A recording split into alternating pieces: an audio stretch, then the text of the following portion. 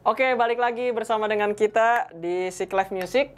Banyak orang yang bilang sama saya, Kak, aku nggak bisa latihan di rumah, nggak ada drumnya. Kak, aku nggak bisa latihan, ada drumnya tapi oh, nggak boleh dimainin sama mama berisik dan lain sebagainya. Eh, dengan kendala-kendala tersebut menjadi satu hal yang Wah, kayaknya jadi sulit sekali untuk latihan. Sebenarnya dengan budget yang murah, tetapi dengan motivasi dalam diri kita yang benar-benar mau latihan, sebenarnya teman-teman masih bisa latihan dengan bermodalkan stick drum dan juga ini.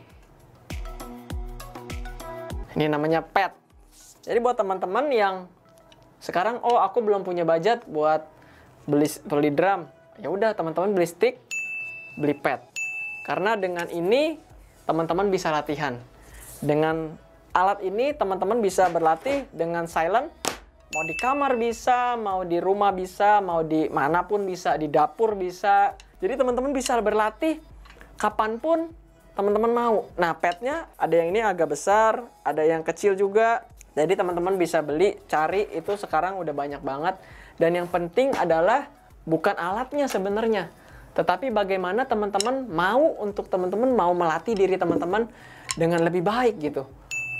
Kalau teman-teman sudah tahu tekniknya, sudah cari-cari tekniknya bagaimana, ya teman-teman harus latih. Karena yang namanya bermain musik itu berhubungan juga, dengan motorik. Bukan hanya kita harus tahu teknik apa, stickingnya apa, bagaimana cara sticking, tapi kita juga harus aplikasikan itu dalam latihan-latihan kita.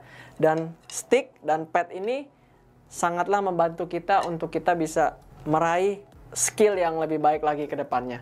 Jadi buat teman-teman intinya sih bukannya alatnya gitu, tetapi bagaimana motivasi kita untuk kita bisa maju, untuk kita bisa next level dalam kita bermain musik.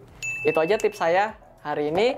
Kiranya bisa menjadi inspirasi buat teman-teman dan semangat latihan. Jangan lupa latihan hari ini. Dan buat teman-teman yang masih males-malesan, jangan sampai uh, ketinggalan, yuk mulai latihan dari saat ini.